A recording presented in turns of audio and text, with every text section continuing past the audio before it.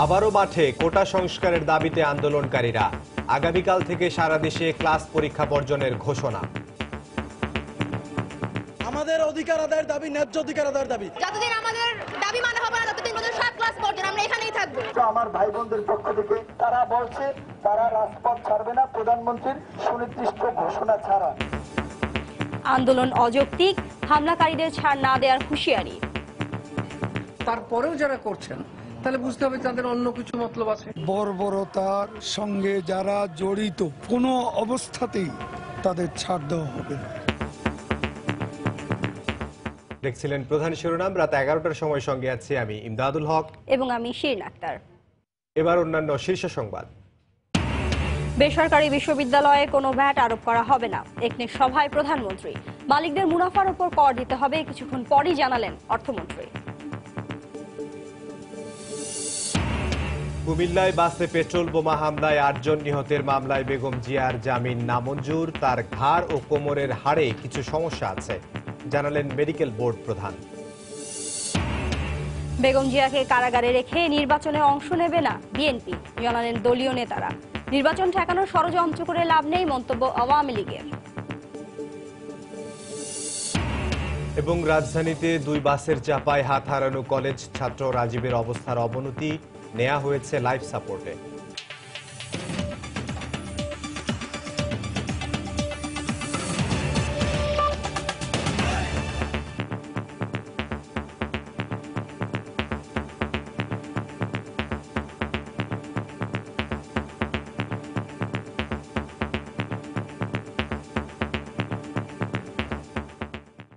কোটা সংস্কারের দাবিতে আগামীকাল থেকে ঢাকা বিশ্ববিদ্যালয় সহ সারা দেশের কলেজ ও বিশ্ববিদ্যালয়ে ক্লাস ও পরীক্ষা বর্জনের ঘোষণা দিয়েছেন আন্দোলনকারীরা।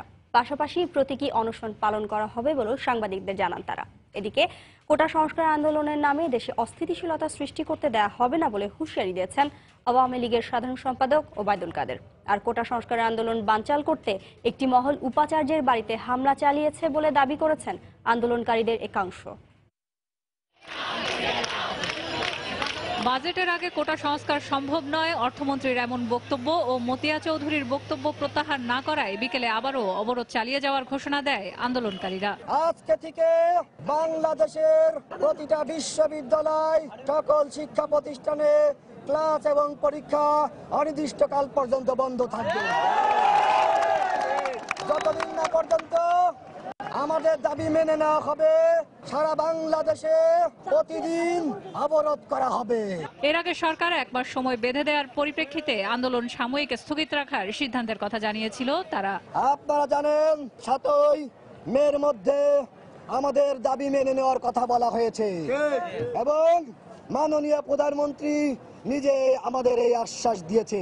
তবে আন্দোলনকারীদের একাংশ তা মেনে না নিয়ে মঙ্গলবার দুপুরে রাজু ভাস্কর্যের সামনে অবস্থান নেন। এই সময় তারা আগামী তিন দিনের মধ্যে সমস্যা সমাধানে লিখিত বক্তব্য দেওয়ার দাবি জানান। আগামী সাত দিনের মধ্যে দাবি আদায় না হলে কঠোর আন্দোলনে যাবেন শিক্ষার্থীরা এমন হুঁশিয়ারি দেন তারা। আমরা আমাদের মেধা দিয়ে আমাদের চাকরির যোগ্যতা অর্জন করতে চাই। এটার জন্য আমাদের কেন এক মাস অপেক্ষা করতে হবে? উইদাউট এনি রিজন পুলিশরা আমাদের উপর অ্যাটাক করে। আমাদের ক্যাম্পাসে কমার্স স্টুডেন্টদের উপর কেন পুলিশ আক্রমণ করবে? তবে কোটা সংস্কার আন্দোলনের সমর্থনে ঢাকা বিশ্ববিদ্যালয়ে ক্লাস পরীক্ষা বর্জন করেছে আন্দোলনকারীদের একাংশ। মঙ্গলবার বিশ্ববিদ্যালয়ের বিভিন্ন অনুষদ ঘুরে দেখা যায় শ্রেণীকক্ষগুলোতে নেই কোনো শিক্ষার্থী তালা ঝুলছে বেশিরভাগ শ্রেণীকক্ষের দরজায়। যতদিন আমাদের দাবি মানা হবে না ততদিন পর্যন্ত সব ক্লাস বর্জন আমরা এখানেই থাকব।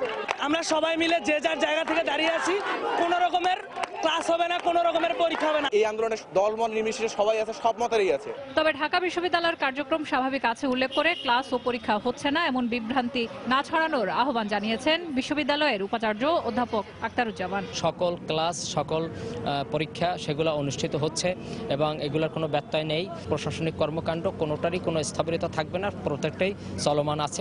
এর আগে ঢাকা বিশ্ববিদ্যালয়ের উপাচার্যের বাসভবন পরিদর্শনে যান আওয়ামী লীগের সাধারণ সম্পাদক ওবায়দুল কাদের। এ সময় তার সঙ্গে ছিলেন ডিএমপি কমিশনার আসাদুজ্জামান মিয়া। এ সময় ওবায়দুল কাদের বলেন এ হামলায় জড়িতদের কাউকেই ছাড় দেওয়া হবে না।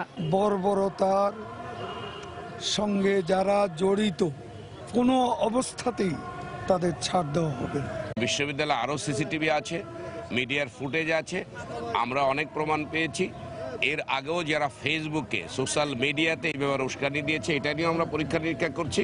উপাচার্যের বাসভবনের হামলার প্রতিবাদে অপরাজয় বাংলার সামনে মানববন্ধন করে ঢাকা বিশ্ববিদ্যালয়ের শিক্ষক সমিতির সদস্যরা। মানববন্ধন থেকে ঘোষণা দেওয়া হয় আগামী বৃহস্পতিবার এক ঘণ্টার কর্মবিরতি পালন করা হবে। আগামী পরশু দিন আমাদের কলম অনুষ্ঠান কলম আমরা পালন করব। সেটি বারোটা থেকে একটা পর্যন্ত চলবে। পরে মানববন্ধন শেষে শিক্ষকরা ভিসির বাসভবন পরিদর্শনে যান। সেলিয়া সুলতানা সময় সংবাদ ঢাকা। এদিকে সরকারি চাকরিতে কোটা সংস্কারের দাবিতে রাজধানীর বিভিন্ন স্থানে সড়ক অবরোধ করে বিক্ষোভ করেছেন বেসরকারি বিশ্ববিদ্যালয়ের শিক্ষার্থীরা। এতে তীব্র যানজটের সৃষ্টি হয়। বেলা এগারোটার পর থেকে বিভিন্ন বেসরকারি বিশ্ববিদ্যালয়ের শিক্ষার্থীরা প্রগতি সরণির মোড়ে জড়ো হন। এ সময় রাস্তা অবরোধ করে বিক্ষোভ করেন তারা। এতে প্রগতি সরণি থেকে বসুন্ধরা আবাসিক এলাকা ও বাড্ডা এলাকায় পুরোপুরি যান চলাচল স্থবির হয়ে পড়ে। এ সময় আন্দোলনরত শিক্ষার্থীরা বিভিন্ন প্ল্যাকার্ড ফেস্টুন ও ব্যানার নিয়ে বিক্ষোভ করেন। সরকার দাবি না মানা পর্যন্ত আন্দোলন চালিয়ে নেয়ার কথা জানান শিক্ষার্থীরা। একই দাবিতে রাজধানীর রামপুরা ধানমন্ডির কয়েকটি সড়ক অবরোধ করে বিক্ষোভ করেন বেসরকারি বিশ্ববিদ্যালয়ের শিক্ষার্থীরা।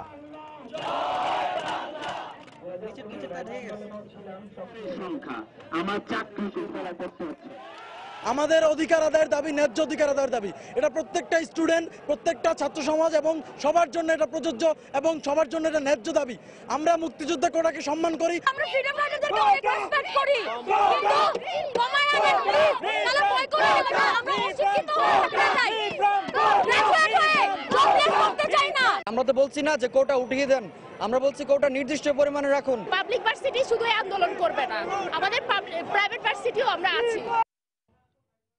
কোটা সংস্কারের দাবিতে আন্দোলনকারীদের সঙ্গে সরকারের আলোচনার পরও যারা আন্দোলন চালিয়ে যাচ্ছে, তাদের জন্য কোনো অন্য কোনো মতলব আছে বলে মন্তব্য করেছেন প্রধানমন্ত্রীর রাজনৈতিক উপদেষ্টা এইচ টি ইমাম। বিকেলে ধানমন্ডিতে আওয়ামী লীগ সভাপতির কার্যালয়ে প্রচার উপকমিটির সভা শেষে তিনি একথা বলেন। একই অনুষ্ঠানে দলের প্রচার ও প্রকাশনা সম্পাদক ঢাকা বিশ্ববিদ্যালয়ের ভিসির বাসভবনে হামলার জন্য বিএনপিকে দায়ী করেন। মাননীয় মন্ত্রী ওবায়দুল কাদের সাহেব, তিনি বসেছেন এবং বসার পরে আপনারা দেখেছেন সুন্দর একটি সমাধান হয়েছে। এক মাসের মধ্যেই এই বিষয়ে সম্পূর্ণ পর্যালোচনা করে নতুন কিছু করা হবে। কাজে এরপরে তো আর আন্দোলনের কিছু থাকে না। তারপরেও যারা করছেন, তাহলে বুঝতে হবে তাদের অন্য কিছু মতলব আছে। এখন তো তাদের কোনো কারণ নেই। তাদের দাবি যেগুলো ছিল সেই সেই দাবিগুলোই তো আলোচনা হবে। সেজন্যই তো কমিটি করে দেওয়া হয়েছে। অরাজকতা সৃষ্টি করতেই ঢাকা বিশ্ববিদ্যালয়ের উপাচার্যের বাসভবনে হামলা করা হয়েছে। সিসিটিভির ফুটেজ দেখে দায়ীদের শনাক্তের চেষ্টা চলছে বলে জানিয়েছেন স্বরাষ্ট্রমন্ত্রী আসাদুজ্জামান খান কামাল। দুপুরে সচিবালয়ে একথা বলেন তিনি। এ সময় মন্ত্রী জানান, কোটা বিরোধী আন্দোলনকে কেন্দ্র করে ফেসবুকে অপপ্রচারকারীদের বিরুদ্ধে মামলা করা হবে।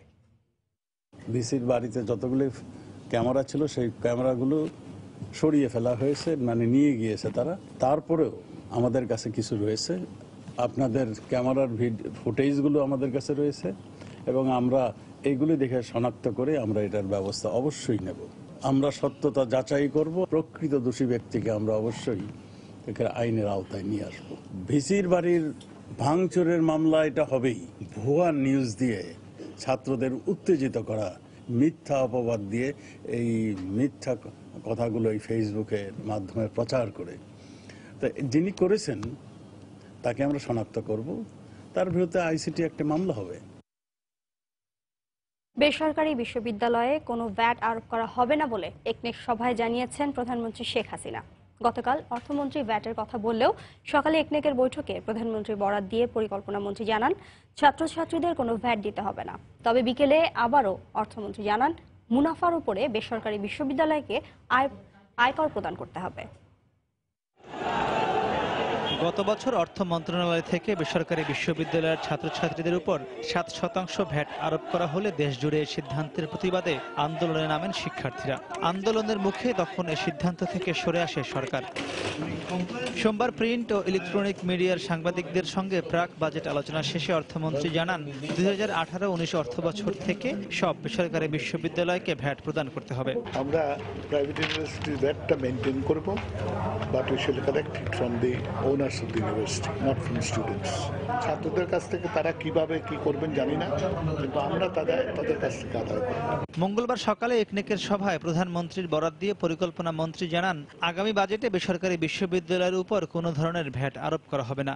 একইভাবে সকালে সেতু মন্ত্রণালয় থেকে পাঠানো এক বিবৃতিতে ওবায়দুল কাদের বলেন ভ্যাট দেয়া নিয়ে অর্থমন্ত্রী যে সিদ্ধান্তের কথা বলেছেন তা সরকারের বক্তব্য নয় এটা অর্থমন্ত্রীর ব্যক্তিগত মতামত। মাননীয় প্রধানমন্ত্রীর এই ব্যাপারে তার সুস্পষ্ট চিন্তা হলো, আমরা শিক্ষার ক্ষেত্রে, আমরা এটাকে বিকশিত করার জন্য, শক্তিশালী করার জন্য যা করব, কিন্তু আমাদের এই মুহূর্তে আমাদের কোনো রকম ব্যাট বসাবার জন্য কোনো প্রয়োজন নেই এবং সেটা আমরা করব না।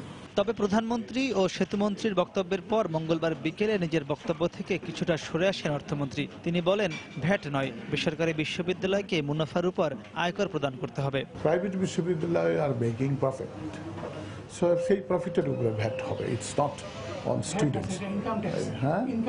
Income tax it will be yes it is income tax এটা ভ্যাট হবে। আগামী বাজেটের পর কোটা সংস্কার করা হবে বলে ওই সময় জানান অর্থমন্ত্রী। কোটা সংস্কার করা উচিত। এটা রিএক্সামিন করব আমরা করব- করব বাজেটের পরে। মাহমুদ রাকিব সময় সংবাদ ঢাকা। রাত এগারোটার সময়ে আরও থাকছে। ময়মনসিংহে যাত্রীবাহী বাস ও ট্রাকের মুখোমুখি সংঘর্ষে মা মেয়ে সহ নিহত তিন আহত অন্তত নয়। সাতজনের অবস্থা সংকটাপন্ন।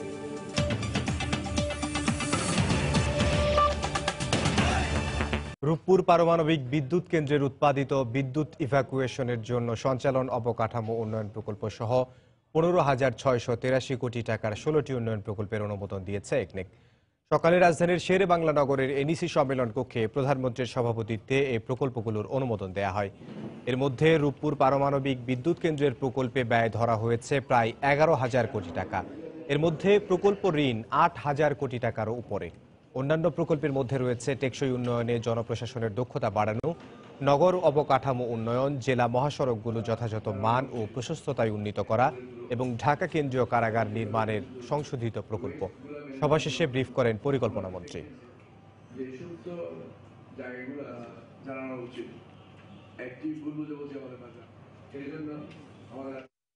বিএনপি চেয়ারপারসন বেগম খালেদা জিয়ার এক্সরে রিপোর্টে ঘাড় ও কোমরের হাড়ে কিছুটা সমস্যা পাওয়া গেছে। তার চিকিৎসায় গঠিত মেডিকেল বোর্ডের হাতে রিপোর্ট এসে পৌঁছেছে বলে জানিয়েছেন বোর্ডের প্রধান ডাক্তার শামসুজ্জামান। বেগম জিয়ার রক্ত পরীক্ষার রিপোর্ট স্বাভাবিক রয়েছে বলেও জানান তিনি। এজন্য তাকে আগের ওষুধগুলোই সেবন করার পরামর্শ দেওয়া হবে। পাশাপাশি তাকে কিছু শারীরিক ব্যায়াম করারও পরামর্শ দেওয়া হবে। নতুন কোনো ওষুধের প্রয়োজন নেই বলেও জানান মেডিকেল বোর্ডের প্রধান। ঢাকা মেডিকেল কলেজ হাসপাতালের পরিচালকের মাধ্যমে রিপোর্টগুলো কারা কর্তৃপক্ষের কাছে পাঠানোর প্রক্রিয়া চলছে বলেও জানান তিনি।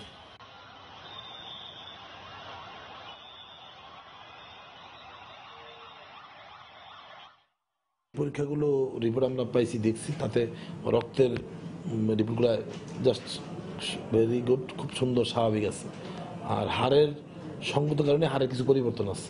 এটা ন্যাচারাল সেই পরিবর্তনের জন্য আমরা যে ওষুধ দিয়ে আসছি সেটাইকে আমরা রেখেছি। ওনার পাশাপাশি কিছু কিছু এক্সারসাইজ বা ফিজিওথেরাপি এগুলো কিছু লাগতে পারে। কুমিল্লায় বাসে পেট্রোল বোমা হামলায় আটজন নিহতের মামলায় বেগম খালেদা জিয়ার জামিন আবেদন নামঞ্জুর করেছেন আদালত। সকালে জেলার senior judicial magistrate Mostain Billah আদেশ দেন। আটই এপ্রিল জামিন চেয়ে আদালতে আবেদন করেন বেগম জিয়ার আইনজীবীরা। সকালে ওই আবেদনের উপর শুনানি শেষে জামিন আবেদন নামঞ্জুর করেন বিচারক। একই সঙ্গে চব্বিশে এপ্রিল মামলার পরবর্তী শুনানির দিন ধার্য করা হয়। দু হাজার পনেরো সালের তেসরা ফেব্রুয়ারি কুমিল্লার চোদ্দ গ্রামে পেট্রোল বোমা হামলায় বাসের আট যাত্রী নিহত হন। এই ঘটনায় বিএনপি চেয়ারপারসন বেগম খালেদা জিয়া সহ সাতাত্তর জনের বিরুদ্ধে মামলা করা হয়। তদন্ত শেষে বেগম জিয়া সহ উনসত্তর জনের বিরুদ্ধে চার্জশিট দেয় পুলিশ।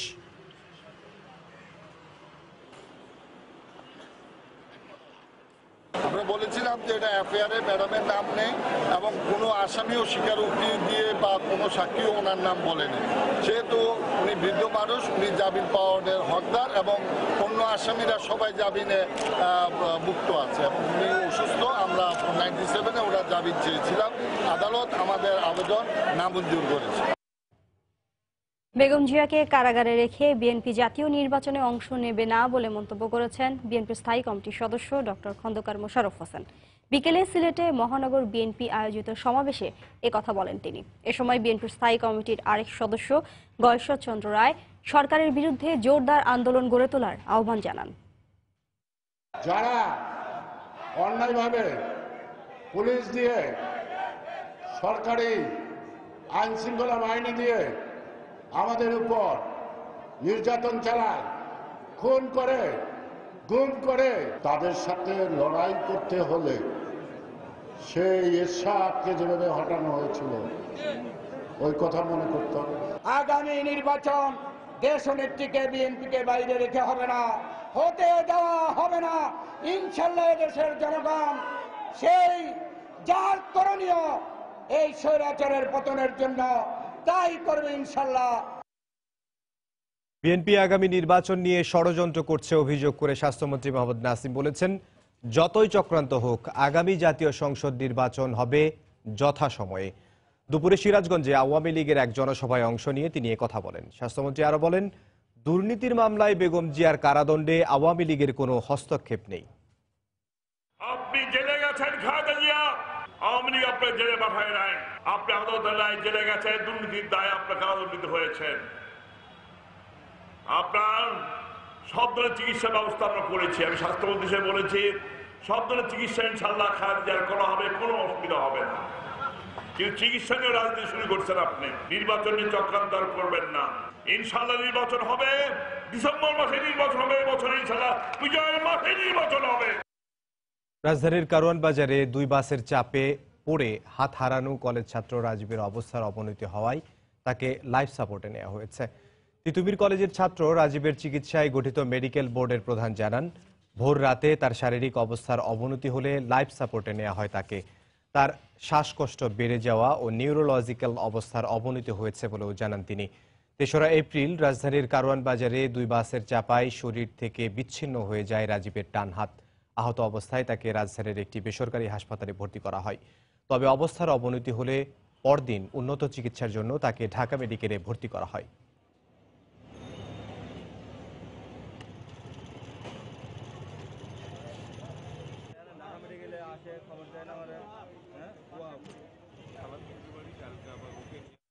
নেপালে বিমান দুর্ঘটনায় আহত আলিমুন নাহার অ্যানি এখন বেশ সুস্থ আছেন। সকালে হাসপাতাল থেকে তাকে ছাড়পত্র দেওয়া হয়। ঢাকা মেডিকেলের বার্ন ইউনিটে চিকিৎসা শেষে এই দুর্ঘটনায় তিনি সবশেষ ছাড়পত্র পেলেন। ডিএমসি বার্ন ইউনিটের সমন্বয়ক ডক্টর সামন্তলাল সেন জানান অ্যানির শারীরিক ও মানসিক অবস্থা এখন আগের চেয়ে বেশ ভালো হওয়ায় ছাড়পত্র দেওয়া হয়েছে তাকে। তবে বিমান দুর্ঘটনায় স্বামী সন্তান মারা যাওয়ায় তার মানসিক চিকিৎসা চালিয়ে যেতে হবে বলেও জানান তিনি। বারোই মার্চ নেপালের ত্রিভুবন বিমানবন্দরে ইউএস বাংলার বিমান বিধ্বস্তের ঘটনায় অ্যানি তার স্বামী ও কন্যাকে হারান।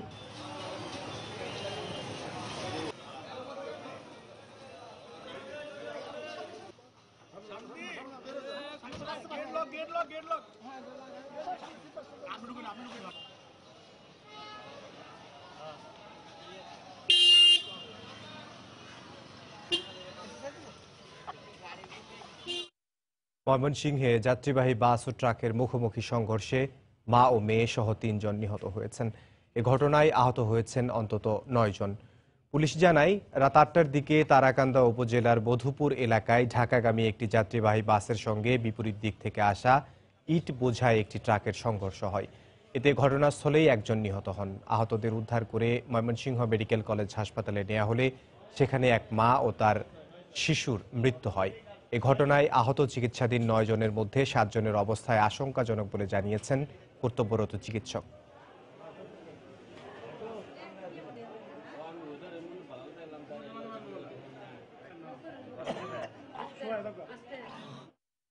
এই মুহূর্তে দুর্ঘটনাস্থলে আছেন রিপোর্টার হারুনুর রশিদ। সরাসরি চলে যাচ্ছি তার কাছে। হারুন। ময়মনসিংহের তারাকান্দার মধুপুর নামক স্থানে বাস এবং ইট বুঝাই ট্রাক লরির মুখোমুখি সংঘর্ষে তিনজন নিহত হয়েছেন এবং নিহতদের মধ্যে একজন পুরুষ ঘটনাস্থলেই নিহত হয়েছেন এবং বাকি একজন মা এবং তার দুই মাস বয়সী এক কন্যা শিশু ময়মনসিংহ মেডিকেল কলেজ হাসপাতালে নেয়ার পর সেখানে মারা গেছেন এবং ময়মনসিংহ মেডিকেল কলেজে এখন পর্যন্ত নয় জন চিকিৎসাধীন আছে এগারো জন নিয়ে যাওয়া হয়েছিল। এখানে ফায়ার সার্ভিস কর্মীরা এবং স্থানীয়রা উদ্ধার করে আহত এগারো জনকে ময়মনসিংহ মেডিকেল কলেজ হাসপাতালে নেওয়ার পর সেখানে মা ও মেয়ের মৃত্যু হয় এবং নয়জন চিকিৎসাধীন আছে। আমরা কথা বলেছিলাম সেই চিকিৎসকের সাথে। কর্তব্যরত চিকিৎসক জানিয়েছেন যে এখানে যে নয়জন ভর্তি আছে, এর মধ্যে সাত জনের অবস্থায় আশঙ্কাজনক। এবং আমরা হাসপাতালে দেখেছি যে একজনের পা বিচ্ছিন্ন হয়ে গেছে এবং একজনের মুখ, মাথা, মুখমণ্ডল, মাথা থেতলে গেছে এবং গুরুতর ইঞ্জুরি নিয়ে আছেন এবং তাদের চিকিৎসা ময়মনসিংহ মেডিকেল কলেজ হাসপাতালে চলছে।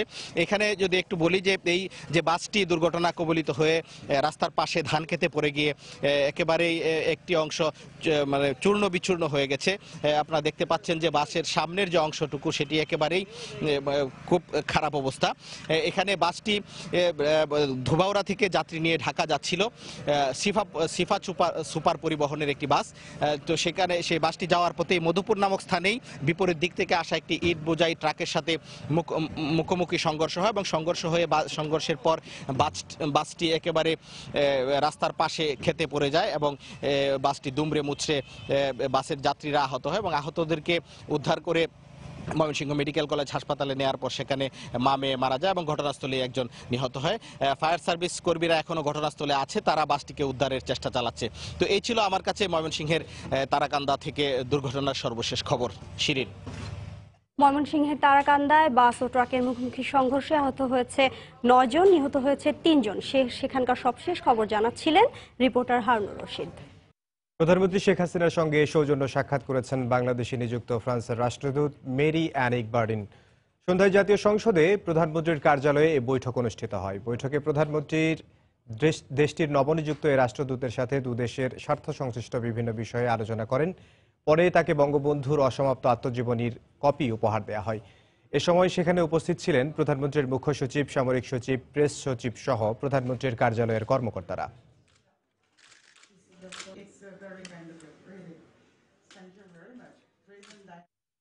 গাইবান্ধার সুন্দরগঞ্জে সৌর বিদ্যুৎ প্রকল্পের কার্যালয় ও আনসার ক্যাম্পে আগুনের ঘটনা ঘটেছে।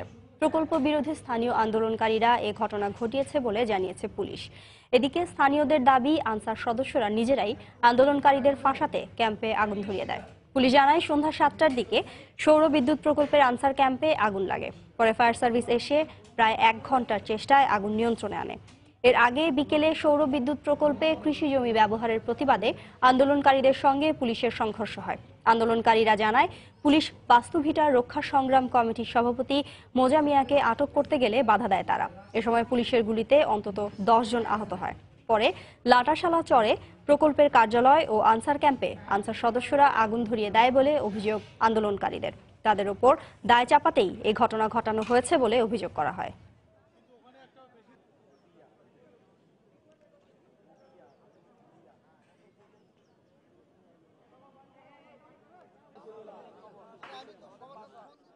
পুলিশ একটা নির্দ্বিধায় দুজার্সে গুলি করে সেই গুলিতে আমাদের দশজন লোক আহত হয়। আহত হওয়ার পরে যে বাসা থাকলে ঘরত যায় কোনো ফায়ার ফায়ার করার করার সাথে ফিটিং করে আগুন লেগে গেল। জমি কেনাবেচা নেওয়ার বিরোধ ছিল। সেই বিরোধের পরিপ্রেক্ষিতেই গতকাল একটি মামলা হয়। সেই মামলার তদন্ত কাজে পুলিশ আজকে সেখানে যায় এবং পুলিশের কাজে বাধা প্রয়োগ করে। জনমোচ্ছিত হয়ে যে যে শিল্প পরিবারটি আছে তাদের স্থাপনায় অগ্নিসংযোগ করে একশো ষাট কোটি টাকা পাচারের অভিযোগে গ্রেফতার ফার্মার্স ব্যাংকের অডিট কমিটির সাবেক চেয়ারম্যান মাহবুবুল হক চিস্তিকে পাঁচ দিনের রিমান্ড দিয়েছেন আদালত। এছাড়া মাহবুবুল হক চিস্তির ছেলে রাশেদুল হক চিস্তি সহ তিনজনকে চার দিন করে রিমান্ড দেন আদালত। বিকেলে ঢাকা মহানগর হাকিম গোলাম নবীর আদালত রিমান্ড আবেদন মঞ্জুর করেন। এর আগে সকালে রাজধানীর বিভিন্ন স্থান থেকে এ চারজনকে গ্রেফতার করে দুর্নীতি দমন কমিশন দুদক। তাদের সবার বিরুদ্ধে ফার্মার্স ব্যাংক থেকে বিপুল পরিমাণ অর্থ আত্মসাত করে তা বিদেশে পাঠানোর অভিযোগ রয়েছে। এছাড়া ব্যাংকটির সাবেক চেয়ারম্যান মহিউদ্দিন খান আলমগীর সহ উচ্চপদস্থ কর্মকর্তাদের বিরুদ্ধেও একই অভিযোগ রয়েছে। চারশো কোটি টাকা নিয়ে কার্যক্রম শুরু করা ব্যাংকটিতে ইতোমধ্যে দুশো তিরাশি কোটি টাকার মূলধন ঘাটতি দেখা দিয়েছে।